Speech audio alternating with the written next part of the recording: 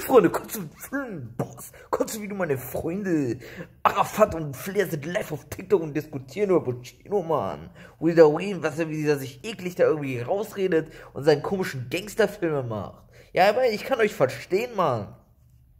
Zuerst der komische Versicherungsbetrug, wo er sechsmal Versicherungsbetrug macht und Arafat einfach als der Teufel darstellt. So, Shido, reflektierst du gar nicht mehr? Du sagst, Arafat ist der Teufel und kriminell bis zum geht nicht mehr, machst aber sechsmal Versicherungsbetrug mit den Armband von deiner, äh, von deiner äh, Mutter oder Schwiegermutter, ich weiß nicht genau. Versenkt ihr da im Fluss und dann wollt ihr die Versicherung holen?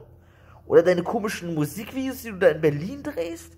Wo dich irgendwelche Jugendliche sehen, so, oh, der Rap Bushido, oh, Polizeischutz. Vor der Polizeischutz rappst du irgendwas über Coca-Handel? Über ich bin King Sonny Black? Also ist dir das nicht peinlich, Mann?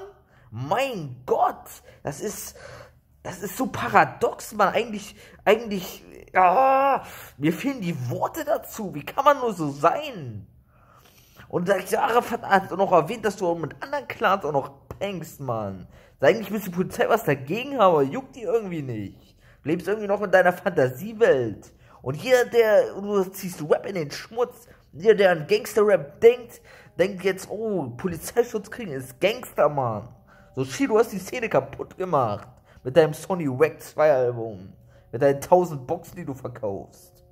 Okay, meine Freunde, das war's mit früheren Boss. Aber den Like nicht vergessen, meine Freunde. Bis zum nächsten Mal, meine Freunde.